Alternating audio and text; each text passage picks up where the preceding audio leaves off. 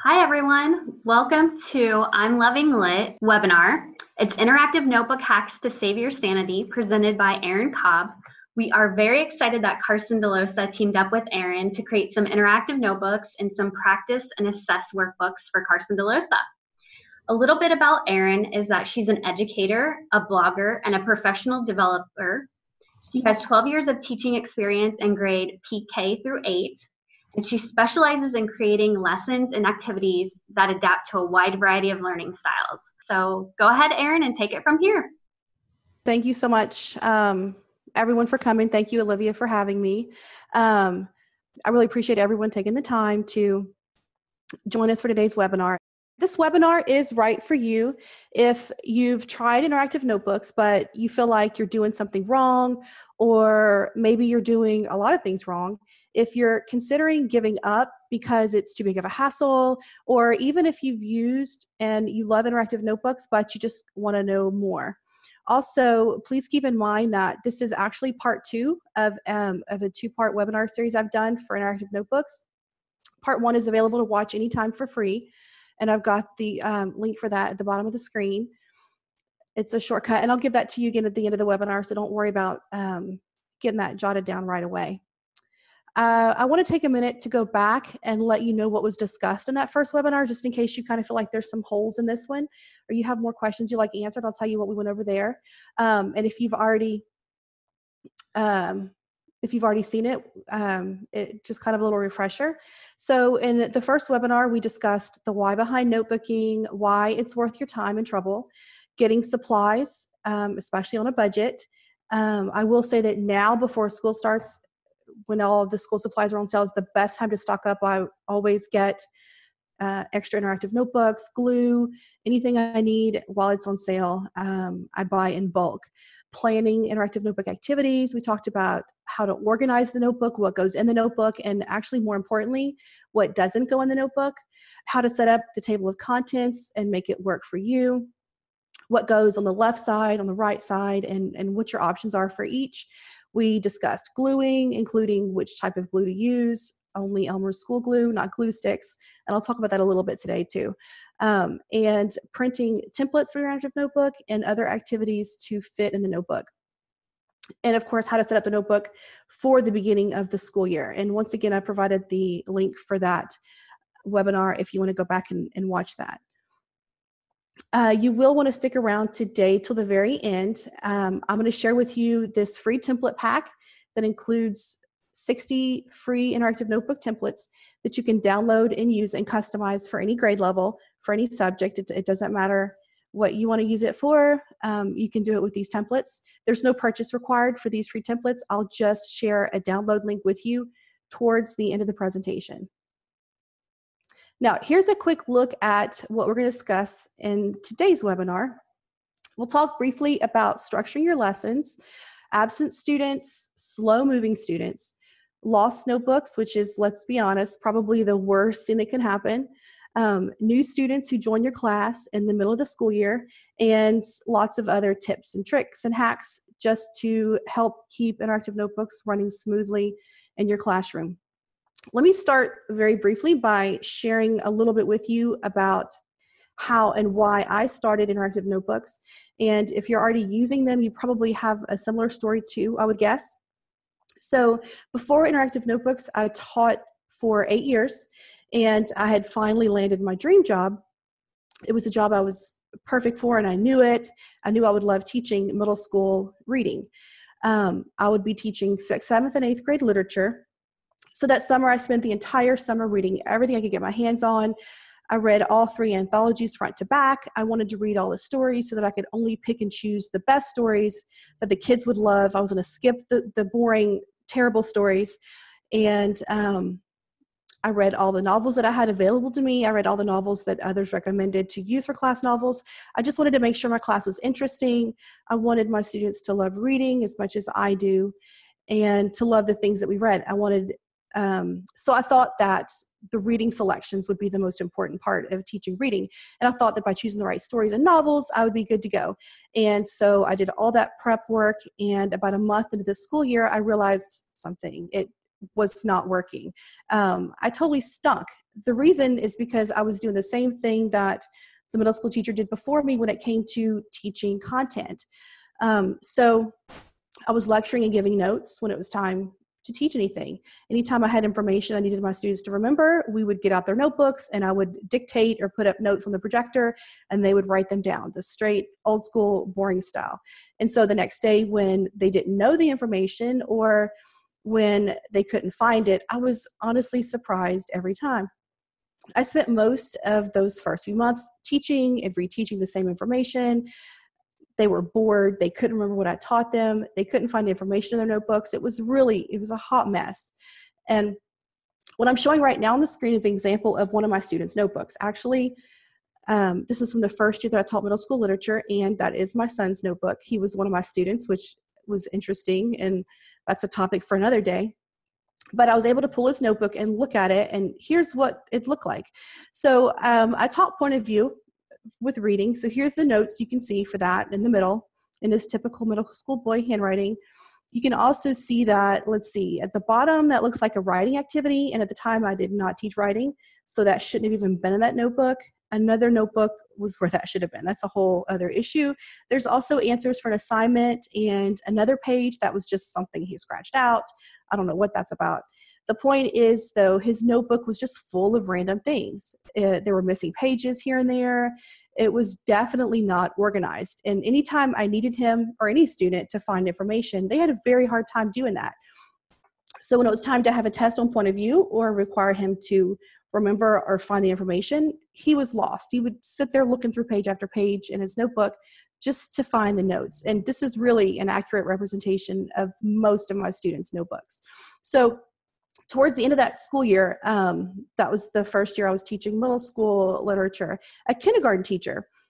I worked in a pre-K to eight school. A kindergarten teacher uh, mentioned to me that she'd been to a workshop on foldables, and so she showed me some things, and I was really intrigued. And I asked her to to explain more, and she did. Um, one of my sons was in kindergarten that year actually and i started thinking that maybe this was something that would work with middle schoolers just as well as kindergartners. So i learned everything i could find. Um, i tried a few things towards the end of that first school year and what i found was that it made a huge difference almost immediately for my students. All of a sudden they were interested in what we were learning. They were engaged. They liked what we were doing. So just a little bit towards the end of the year was enough for me. This time we were back to summer. I spent this whole summer um, not preparing what we're going to read, but how I would teach every concept I had to teach using interactive notebook lesson. So I had several lessons ready to go for the school year. And that was, it turns out, the best use of my time. So by the next school year, I was ready to go, full force with interactive notebooks. And now my class no longer consisted of drowsy and bored passive learners. All of a sudden, they were really busy, they were active, and they were happy. They were actually trying really hard to keep up with me. So they were constantly, constantly busy. They were retaining the information. They could find the notes that I gave them. Um, the notes were organized, they made sense. My students were smiling, they were engaged with the content. Their notebooks look more like the ones you're looking at now. The information was organized it was easy to find and it made sense to them. And when they made the foldables when they made the interactive notebook pages they kind of interacted with the with the information in a way that was more than just writing words on a page. Um, they knew what was expected. They knew what they were supposed to learn and what they had to remember. And let me tell you this the the way of teaching like i said the way they interact with the notes themselves made the biggest difference because it really leveled the playing field between high and low achievers.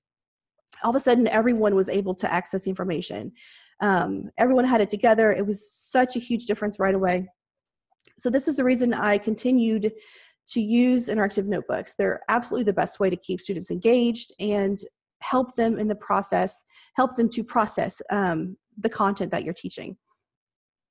So let's switch gears and jump right into how I structure my lessons from day to day, what that looks like in my classroom. Um, this is a question I get asked all the time. If you're going to use interactive notebooks, do you have to do an interactive notebook lesson every day?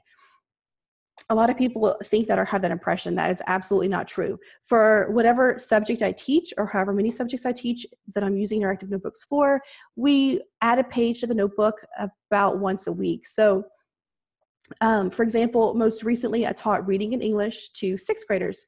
So they had one notebook for reading and one notebook for English. So um, there were actually two notebooks that they kept for my class. And I'll talk a little more in a, in a bit today about how I organized that.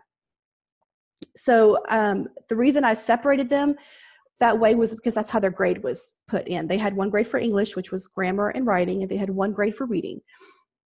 And then we did vocabulary, but that was that was separate also. That was in place of spelling.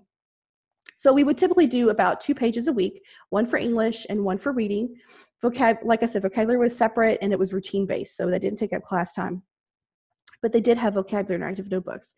Um, so anytime I taught new content, which like I said was about once a week, once a week, they would put a page in their notebook, and that wasn't every week.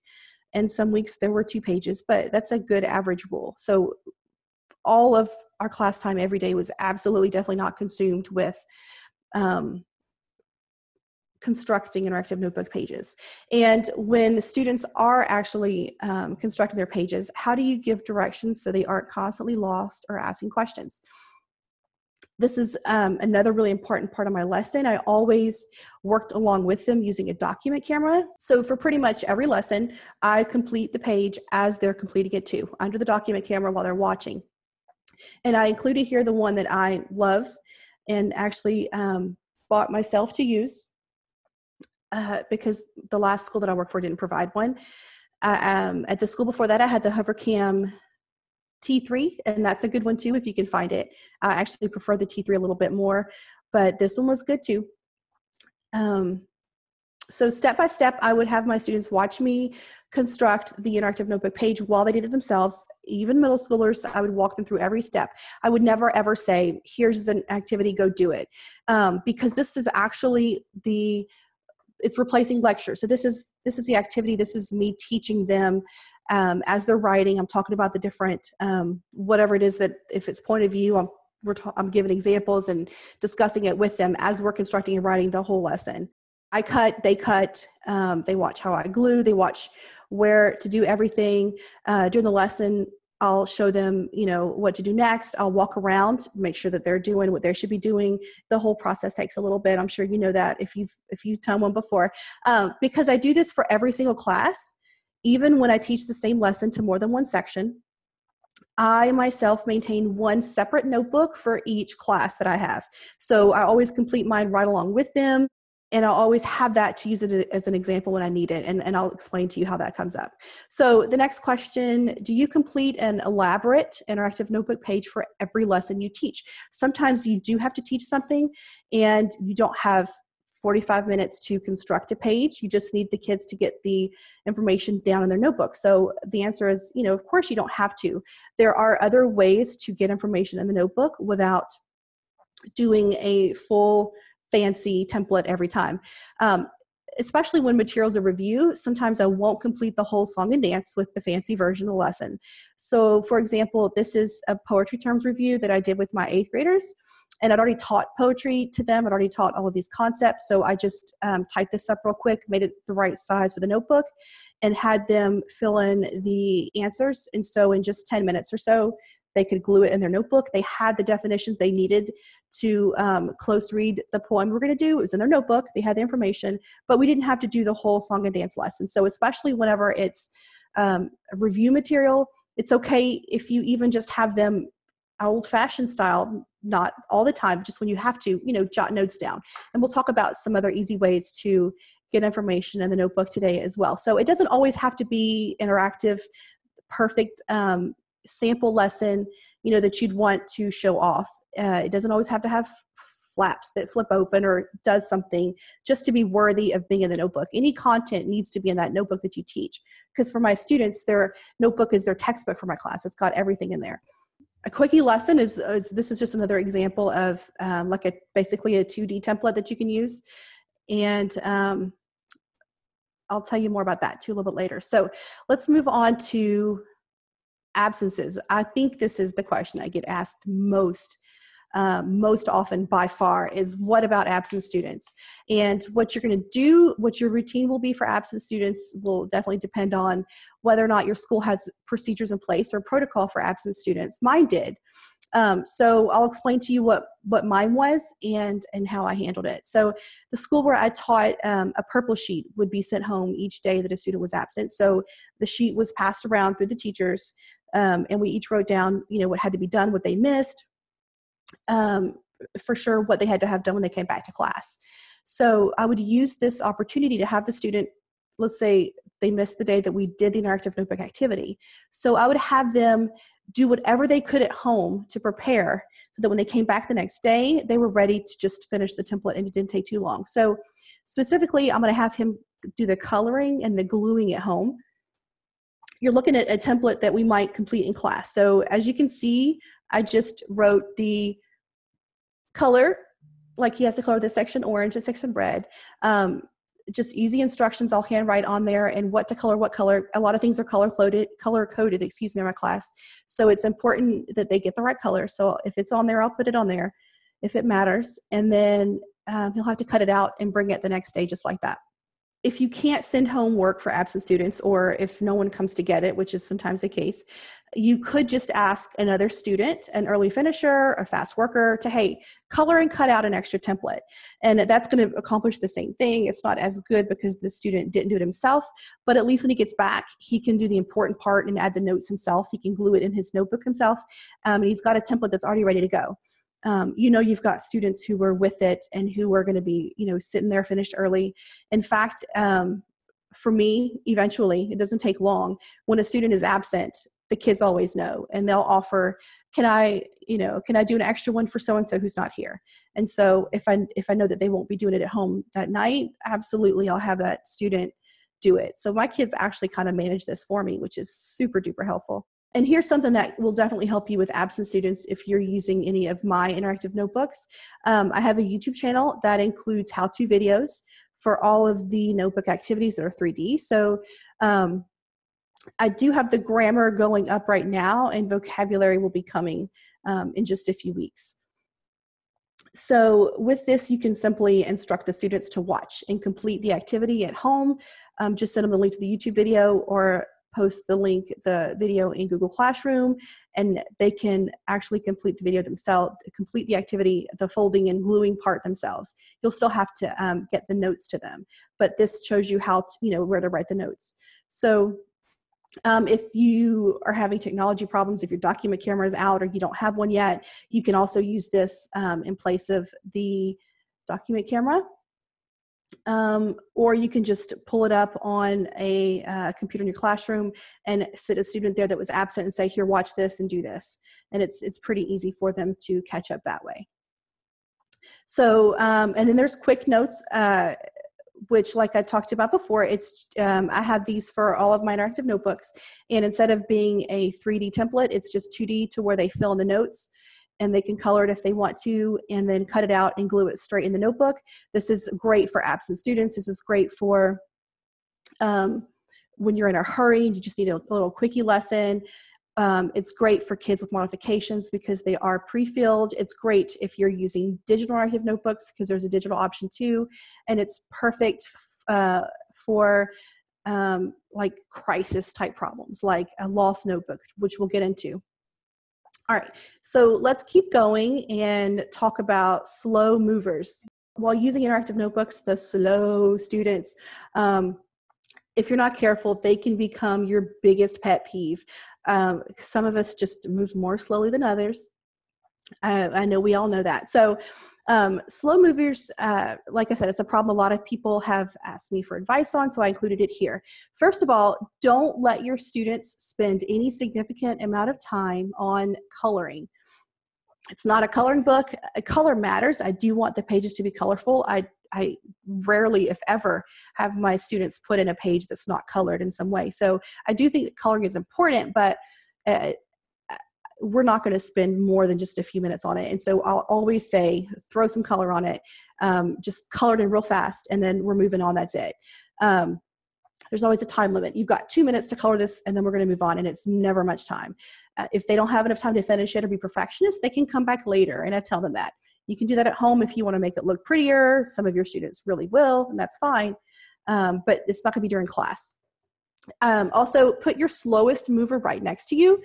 Um, I'll have the document camera in the front of the room, and then right next to my document camera table is my slowest student and or students in that class. I'm always right there to make sure he's moving along, and um, I help him keep up. Uh, I say him; it's a lot of times a him, sometimes it's a her. Um, I like having that student right under my nose. And you're always going to have those super with it students, like I said before, that do what they have to do quickly and then they're just sitting there. So let those students get up from their desk and walk around their area to assist other students that need it.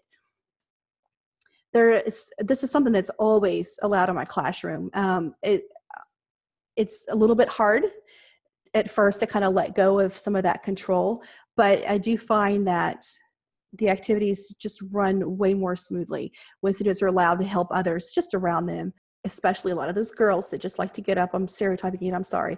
They like to get up and and see what other people are up to and this kind of gives them a chance to do that too. So no one ever complains about getting help and a lot of my students are always eager to help. So finally you can always assign the first part of the foldable as homework.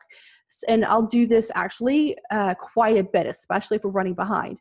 So I'll assign, just like I showed you before, with the um, absent student, before the students leave for the day, I'll just show them, I'll give them a template and I'll say, color this and cut it out and bring it to class the next day uh, ready to go. And so that's going to trim like 10 to 15 minutes off of our lesson, depending on, you know, how complicated the template is.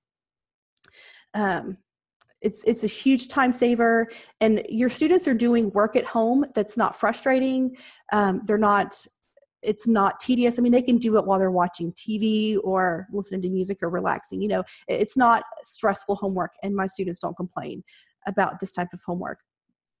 Um, if they come to class and haven't done it, then you know that's another issue. But they'll just have to be behind and catch up. That's their problem. Um, all right. Oh boy. So next we're going to talk about lost notebooks, which let's face it, this is pretty much the worst thing that can happen interactive notebook wise if you are using them in the classroom. So the most important part of this plan for me is that you have to freak out. Like you have to just completely like, you know, exaggerate. Oh my goodness, you, it's a huge deal. You cannot believe they lost a notebook. I'm sure it's just left at home. Um, and also keep in mind that you're going to make this a hassle for the student. It's not for you. Make sure they know that it's it's really not your problem but it's going to be a big problem for them and let the other students see that it's a big problem for them. So of course at first you're going to just assume it's left at home. This happens um, i do have my students take their notebooks to and from class every day. I know a lot of teachers prefer to keep them in their rooms and that's kind of a, a game time decision that you have to make. I don't because my students need theirs for homework for um, studying for anything they do literature um, ela related they're going to need that content information. So they keep theirs with them. So uh, like i said uh, assume it's just left at home and um, it's in the locker wherever just don't panic right away. So what do you do when you have um, a class of 25 students and five of them may show up to class without their notebook? It's not going to be a big hitch in your plans. It's no big deal. I mean obviously you don't tell them that. Um, but so while it's missing and temporarily lost or while they just forgot it today, what you do if you're doing um, a notebook lesson is just have them complete whatever you're doing with everyone else on loose leaf paper. So if you take a regular loose leaf paper and you cut off the top part that's above the margin without lines. And then if you cut off the left gutter side where the holes are, where that red line is, cut on both of those red lines, and then you have left the perfect size page to fit in a composition notebook, which is what we use. So then they'll use that to do their activity on. And then once they finish it, they'll put their name on it. And then I have a folder in my room that the students will put, they won't take this with them because they lost the notebook. We're not going to take chances on this. So they'll leave that page actually with me that day. And then it's in a certain spot it's in a folder that, that's just for those um, types of activities. So the next day or whenever it is they come back with their notebook, they'll go grab it and they'll glue it on the right page in their notebook, and it's like they never missed anything. No big deal. So that's how I handle it temporarily. Now, after about a week or more has passed and everyone's convinced the notebook is taking a permanent hike, it's gone forever, it's not coming back again, you're going to have to handle it like a new student. Um, this is all part of the freaking out phase where you just can't believe it's so awful they lost a notebook. Um, you're so upset you can't believe it, like I said. The students have to know that you are in agony. Um, it's a horrible thing they've done to themselves. And um, I always want my kids to kind of be surprised when this first happens, you know, to be surprised at how upset I am, not in a mean way, but just in a kind of a shocking way. Um, and we're going to talk about new students uh, next. So, like I said, the worst case scenario is just you'll have to treat it like a new student, and the student is going to have just a big hassle on his hands because he lost that notebook. So, here's what to do when you have a new student, or like I said, um, if you're just following the new student protocol for a student who has lost its notebook. So, over the summer, even if my students um, have to bring their own supplies, like we have a supply list, I will purchase several, at least 20 or 25, if you've got multiple classes. Interactive notebooks over the summer when they're 20 cents or 25 cents or even 50 cents uh, at Walmart or Target. So I'll get several extras. That way, if a student loses his notebook and we have to do this protocol, or if a new student comes, I will just pull it out of my closet and hand him a notebook. And that part is no problem. I don't have to go buy one or wait for him to bring one so you stocked up over the summer you give him the brand new notebook or like i said the first day he comes here's a notebook this is for my class and then i'm going to hand him my notebook the notebook that i keep for that class that he's in it's got the table of contents organized i'm going to have him set up the table of contents identical copy my table of contents word for word page for page he's going to number his pages identically to how mine are numbered our pages are numbered this is all stuff that i talk about in the first webinar the first new pages um, word for table of contents. Uh, so on every other page, he'll write the topic. So, like, let's say page four was point of view, page five was the plot diagram. Um, so he'll go ahead and write the topic and the page number on the pages that that he's missed from you guys from the rest of the class and it's just a placeholder so he has his notebook set up when he's finished he's got the table of contents he's got all of the pages numbered and he's got the topic. So he knows what he's missed. He knows what notes are missing. And that's all we can do for right now. His notebook is a skeleton. And so then you're going to just simply pick up where you are today. I know he has a lot of information missing, but we're not going to deal with that right now. Uh, he's going to jump right in wherever you are. So, what about all of the empty pages? So, remember that the interactive notebook is a record of what your students have learned in your class this school year. And since the student is brand new, his notebook should be blank because he hasn't learned anything from you in your class.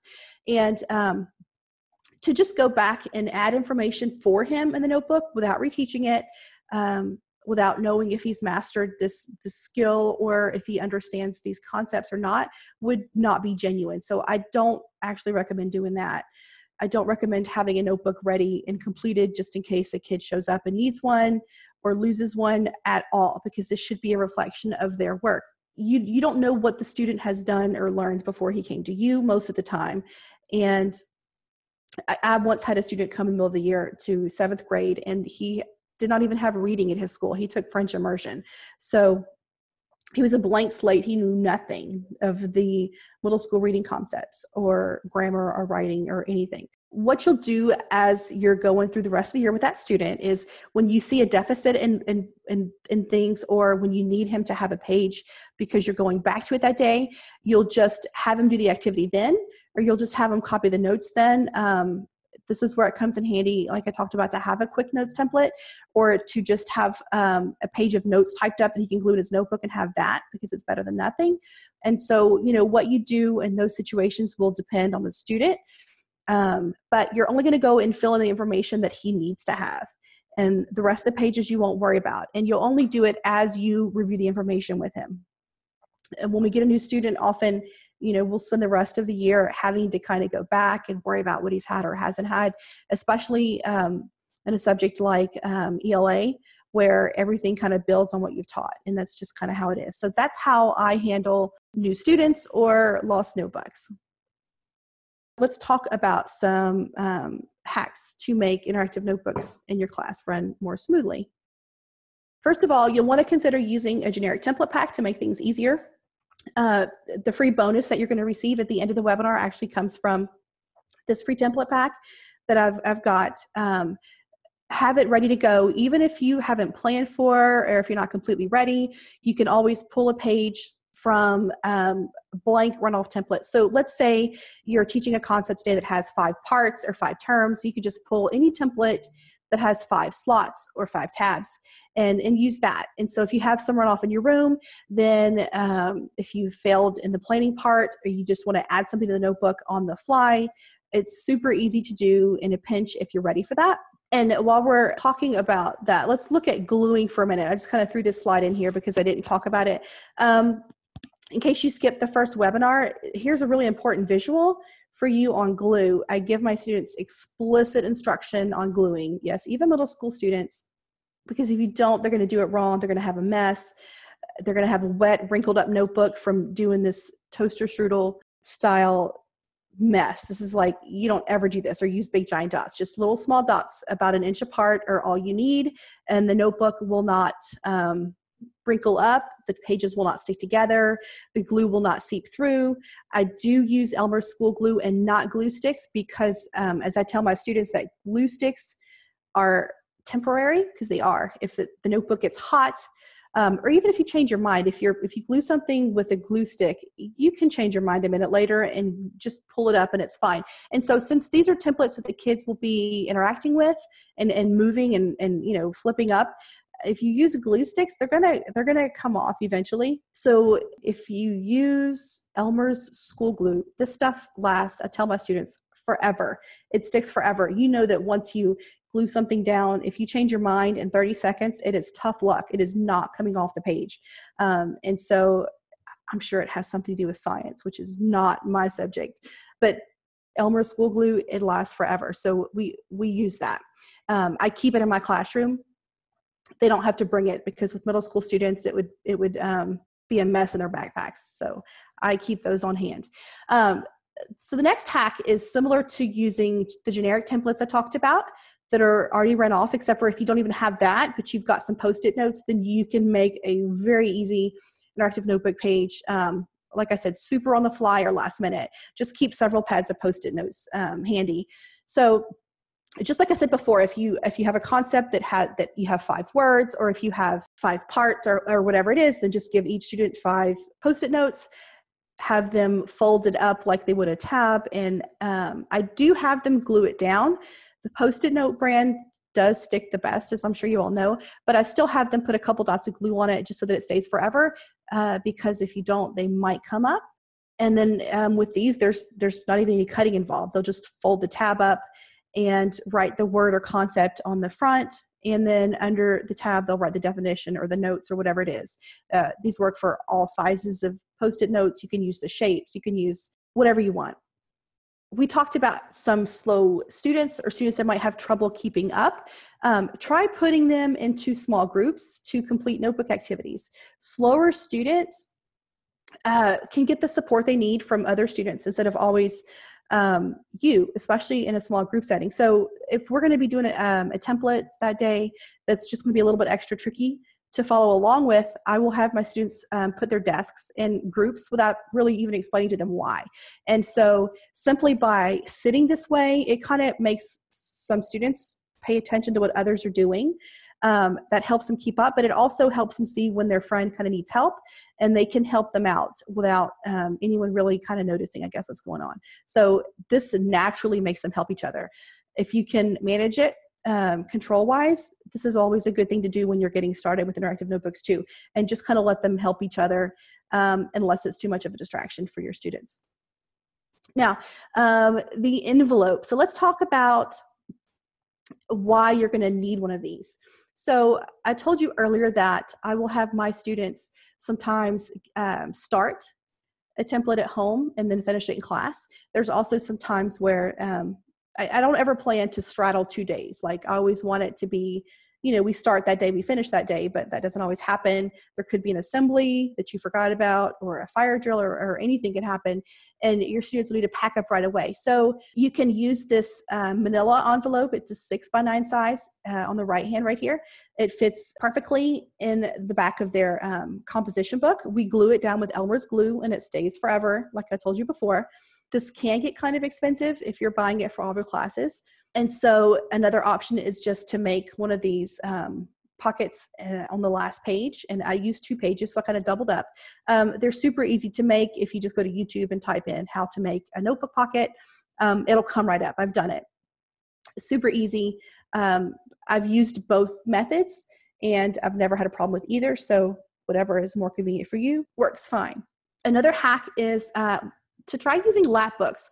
So um, sometimes you'll want to do an activity that's a foldable, um, an interactive notebook template, but it doesn't necessarily need to stay in their interactive notebook. Maybe it's something that they don't need to refer back to. It doesn't have to be in there.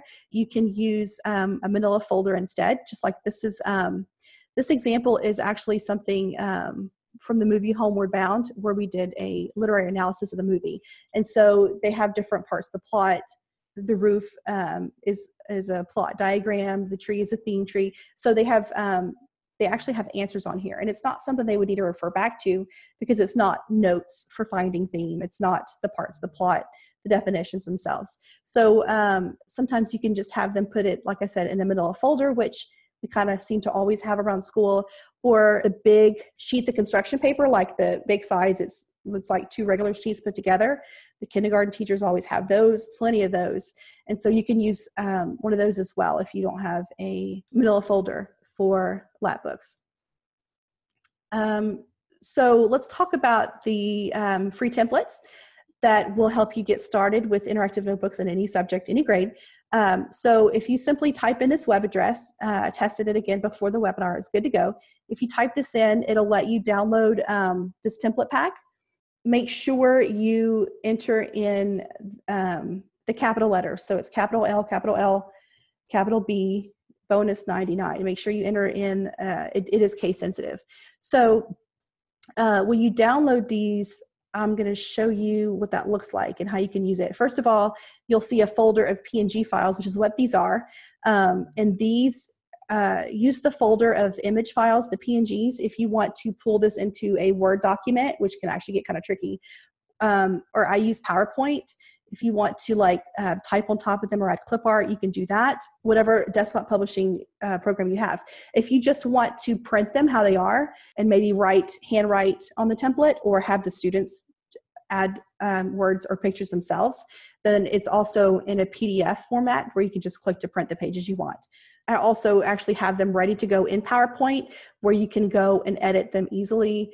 Uh, just open up the PowerPoint file. You can add a text box and type on the tab or the flap. You can pull in clip art or pictures or whatever you need to do. This um, bit.ly link is case sensitive, so make sure you get it just like that.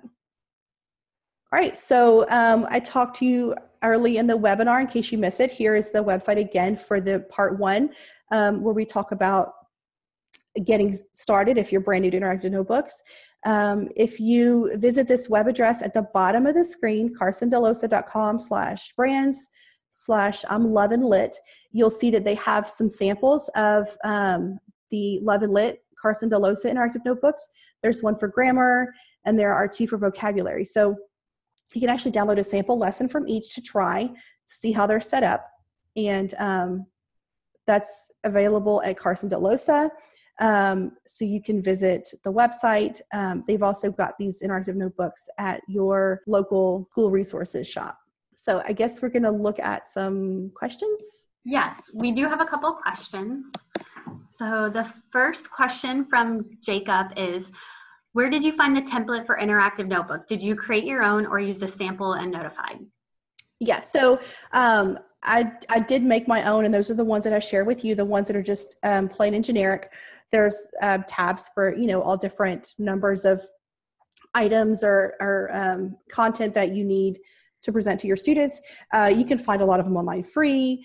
Um, you can buy. Um, I know Teachers Pay Teachers. There are several huge packs with. I mean, so many picture templates you can't even imagine the stuff they've come up with. So you can just look um, online for notebook templates. You can find them just about anywhere. And like I said before, you can also use post-it notes. You can just have them use plain white paper cut out to show, uh, you know, cut out like like the templates are. So you have plenty of options for that. Okay, our next question is um, it says, I have used interactive notebooks and love using them. However, cutting and pasting is extremely time consuming for my students and resource ELA. I'm looking forward to moving towards a digital interactive notebook, especially in my district as one-on-one. What are your thoughts on moving digital? Okay, I'm glad that you asked that question um, because it's kind of a, a soapbox a soapbox issue for me, but I won't get on a soapbox too big. So, uh, digital interactive notebooks, uh, there's really no such thing. I've used the analogy of a kid playing in dirt before. So, you know, if a kid is outside and he's making mud pies in the dirt, his his hands are in the dirt, he feels the cool earth, his fingernails are dirty, um, he's you know mixing up the mud pie, he can smell it. It's like a sensory experience for him. Um, and interactive notebooks are kind of that way. The reason they benefit students is because they're immersed in the cutting and the gluing as, as much time as it can take up front to get them in the routine. All of that is part of the reason why they're they're moving um, in your class. They're not sitting still. Um, they're not passive they're active learners and so that's all part of it even though it seems like it's a big um, step to overcome in the beginning i promise it does get better so don't let it um, deter you if your kids are in middle school or fifth grade and they can't glue and cut like they really should be able to. Um, that's all part of it. So um, if that same student that was playing in the dirt were on the computer and he were he could do the same thing, right? He could do like a simulation of making a mud pie and he could click um, he could click the screen and pick up the the water hose and you know click to to put water in the dirt and all that stuff. It just wouldn't be the same um, it wouldn't be the same experience he had. And so it's that way for interactive notebooks too. Um, so if you want to have your students keep digital notes, they can, um, but that's not really uh, an interactive notebook, if that makes sense. So you you kind of moved so far away from the model, and you've taken away the part that really I find um, makes the difference in my classroom, um, it, it, of course, it could be interactive just in a different way. You know, it's a digital interactive, and um, you know, your kids don't have anything physical to show from it. They can't just grab that notebook and and look something up real quick. They have to, you know, turn on their computer, um, get everything booted up, open the find the file, open the file. It, it's it's it's similar to the notebook, I guess that um, I showed you first. It's it's just not the same as having a physical notebook. So so that's how I feel about digital interactive notebooks. I've seen, you know, some people say they do it and make it work and that works for them, but that's that's the best advice I can give you because um, I'm sorry. Um, that it, it, it, it's just kind of a, an oxymoron, I guess. I hope that was helpful.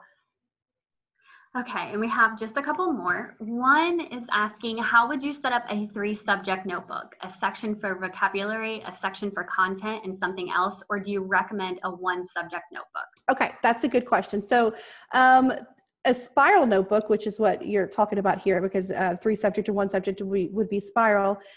Um, those are kind of tricky. I, I only use composition notebooks. I understand if you if you we're already kind of into it this year and you know you have what you have. And so you can make it work. I do prefer uh, composition books because students um, won't tear pages out. The pages won't fall out. They won't you know get loose. Um, they won't use it for other classes. They kind of keep it sacred for your class. So i do prefer composition books first of all. But if you've got spiral that's okay. Um, i would not set up different sections necessarily. And i have always just used i've even um, taught all of ela with just one notebook so if we're going to do a grammar lesson today that'll be in the notebook. If we do a reading lesson tomorrow that'll be in the notebook. And i just have them make a table of contents. And so every day we add to it they'll just write on the next line you know um, page 12 is going to be uh, subjects and predicates lesson. And so they can always find it. They don't need necessarily to have different sections if that makes sense. As, as, as long as it's all ela and it's all in one notebook. I wouldn't mix like you know reading and math together but if it's all for your class um, or, or, or ELA is all similar enough, ELA reading. So you don't have to break them up into different sections. If you do, then what's going to happen is you'll have more students putting things where they don't belong in the wrong section and then they can't find it. um, it becomes an issue with numbering pages for the table of contents. So I, I prefer just to have it all um, together, kind of mixed in. And, and that table of contents is how they can always find what they need. Uh, even if one page is grammar, the next page is reading, the next page is writing, that's totally okay. So yeah, I wouldn't have them break it up like that. Okay, and then I have another question that says, do you designate left and right pages for teacher input and student input? That's actually a really good question. I'm thinking if I have one, um, I can reach and show you, but I don't think I do. Um, so my students, I, I know that um, some teachers do it differently. My interactive notebooks are like, that's my students' textbook for my class. So there's nothing that they're going to do in that notebook themselves, if that makes sense. They're never going to like internalize it and write how they feel about it or whatever. Um, they're not going to do that because it might be wrong. And I always want them to be able to go back to their interactive notebook and check that for accurate information. So everything they do in there is just um, it, it's it's very scripted. Um, now the left side we will use sometimes. Uh, you know, I always have them um, just use the right page, and sometimes the left is blank. Sometimes on the left side I'll have them um, most often actually put a graphic organizer there or um, some something similar to that where they've kind of used the information and here's a sample so for example um, uh, if i give them a lesson on plot um, so the right side would be all of their um, it'd be the plot diagram where they have you know what is rising action what is the climax how to find those so on the left hand side would be an actual plot diagram for a story that we read together and we did the plot diagram together um, and so the graphic organizer is glued on that page so that they can come back and look and see, okay, when we read this story, the climax was was this. Um, and it'll help them in the future when they refer back to those notes to have an example of what I expect. So once they have that graphic organizer on the left side, I can give them the same graphic organizer for any story we do and expect them to figure it out themselves with just the notes and the sample they have in their notebook. Um, I do talk a lot about other options for the left hand side um, in the first webinar. Um, sometimes it'll be just a worksheet that we did related to that topic. I'll have them glue it in there. Um, but I don't do the whole input output model. And the reason is because I don't want them to do anything in the notebook that I haven't approved. And I do not pick up the notebooks and grade them ever. Um, I see them while they're doing them, so I know if they're keeping up or not. Um, we do it together, it's never independent.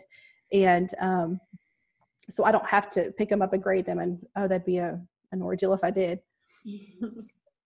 Do you mind going back to, um, I think it was the previous page with the free templates. I think a couple people wrote it down wrong and they just went. Yeah, sure. There you go. Okay, perfect. And it looks like we might have one more question and then we can announce the winners. Um, okay. How many pages do you leave in the beginning for the table of contents? That's a good question. Yeah. Um, so just, I would leave three pages and you won't need more than like one or maybe two, but I always leave three pages um, before we start numbering off for the table of contents. Okay, perfect. Um, you will be able to get this recording. Um, I will send it to Erin and we will also have it on the Carson Dellosa YouTube channel. And I'm sure we're going to post it on social media as well. Um, so you will be able to get a copy of this webinar through there. Um, and you can also email me back through the webinar link that you originally got and I can send it your way as well. I would say give us about a week um, just so we can make sure everything is all good with it and um, we will post it after about a week. Um, one other thing, I know a couple people were asking um, about other subjects. So Erin does ELA, um, but we do offer on Carson Dellosa or through your local retailer, we offer um, several interactive notebooks with math and um, science and, and other subjects. So that's just a, a couple questions that we did receive um, regarding that. So thank you, Erin, so much for doing this webinar. We all appreciate it. Thank you so much.